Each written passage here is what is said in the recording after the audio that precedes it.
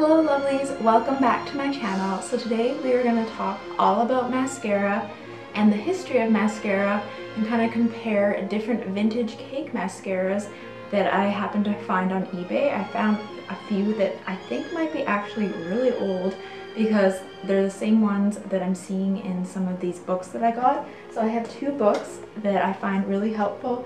This one I believe is by the author or the founder of Besame Cosmetics. Um, there's a lot of interesting things in this one. And this is where I kind of found my mascara that I got. And this one also is really good by Lisa Eldridge. It's uh, Face Paint, The Story of Makeup, and there's lots of good pictures in here. So these are two books that I use quite often for inspiration and research. Alright, let's jump right in and let's talk about the history of mascara. And if you're new to my channel, hello, my name is Laura and this is where I talk about all things vintage, so please don't forget to subscribe if you like what you see. Let's start out with the Victorian era for mascara from 1837 all the way up to 1902. So the first mascara was developed by Eugene Rimmel, a perfumer to Queen Victoria, and this is correct, Rimmel London. If you know the brand now, that was the person who founded the first ever mascara.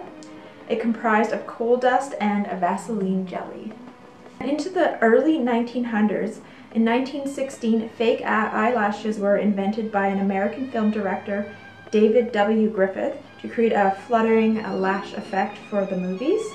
And in 1917, Mabel Williams worked with a drug manufacturer to come up with the Lash Brow line.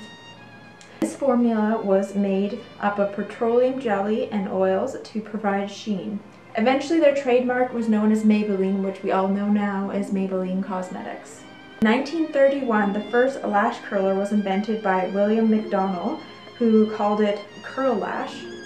In 1933, the term mascara came into play and Maybelline designed a 10 cent package sold in drugstores. The early 1940s, waterproof mascara formulas were introduced. In 1958, Revlon introduced the first mascara package in a tube with a spiral tip wand. In 1960, Revlon invented the first colored formula with its brush-on mascara and hues like mauve and dark green. And in 1971, the cult favorite by Maybelline hit the market and this is the infamous Great Lash Mascara, which basically looks the same today. As you can see, it's the iconic pink and green tube, which you can still buy at the drugstores today. So now that we talked a little bit about the history of mascara, bear in mind this is just a brief history, kind of focusing on some key points in the 20th century. I'm going to show you a few items that I picked up on eBay in the last month or two. I was kind of I knew I wanted to do a video about mascara, so I was kind of collecting different things that I kind of found along the way start with the oldest one, and this is a Maybelline mascara. It doesn't actually have the cake part in it, it just has the little wand. It looks very old. It even says Maybelline on the little brush.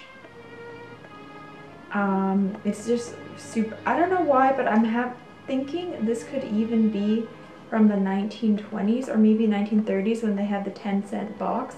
Says Velvet Black Maybelline Mascara. And then it says Chicago, USA. It just looks so old, the packaging, and it's all cardboard. But I do think it could be even from the 1930s when they introduced these for 10 cents a pop. And it even has the original instructions in it. It talks about Maybelline and how it was founded in 1917. There's no date on this. It says approved by Good Housekeeping and it says how to beautify with Maybelline. On the back it has instructions based on the illustrations and the makeup. I'm thinking it probably is the 1930s because the lady's makeup looks very 1930s to me. Something about it just it even has almost a little bit of an art deco look so it could be even from the late 1920s. Let me know what you think. I actually noticed that in the Classic Beauty, The History of Makeup book, they had the same one as an example from 1917. So maybe this is older than we think. I'm not sure. I think it's really unique. It's very fragile. I can just tell that it's super old. I'm just wondering if there was maybe a cake mascara that came with it in a separate container. I'm not entirely sure. So this is the first item that I got. Moving on is a vintage Max Factor that I got paper inside is almost disintegrating. It's so old. A little bit ripped off just as I was picking it up. And it is the eyelash makeup Max Factor Hollywood and it has instructions. And it says it's made in the USA by Max Factor and Co. Hollywood, California. It says moisten brush with water and rub on cake until proper consistency is obtained. Then apply to lashes and allow to dry. And it says that you can refill it and and add it to the container as well. You can see this one was actually never used. It looks like it's brand new. And it has a little Max Factor brush as well. The brush doesn't say Max Factor. This looks a lot newer than that Maybelline one. I'm thinking this is probably the 1950s based on the outside. Could be even a bit later. And then on the back, apparently it says blue. It says eyelash makeup blue, Max Factor, Hollywood, USA. So let me know what you think. I'm thinking a 1950s, most likely. But I got another 1950s. This one is Studio Girl. It was kind of like an Avon. Apparently, my grandma sold Studio Girl's cosmetics, my mom told me. Um, I originally got this because I'm going to plan a video with like swatching 1950s eyeshadows and find, finding newer versions. But as you can see, it has like a little cake mascara set. It actually has one for darker black and brown and there's also an eyebrow thing too.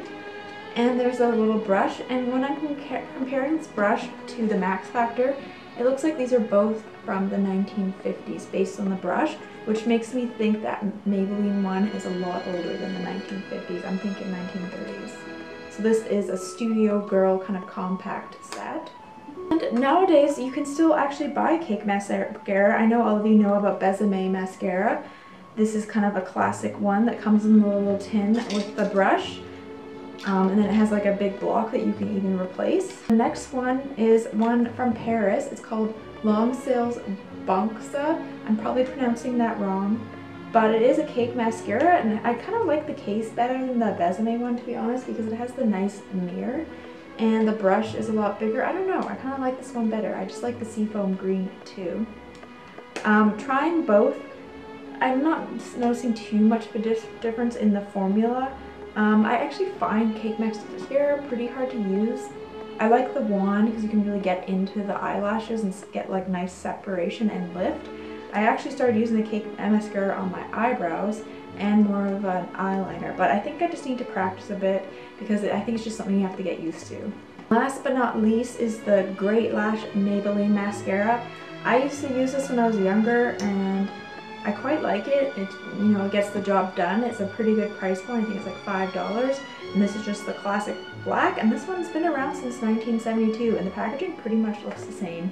And again, this one is by Maybelline.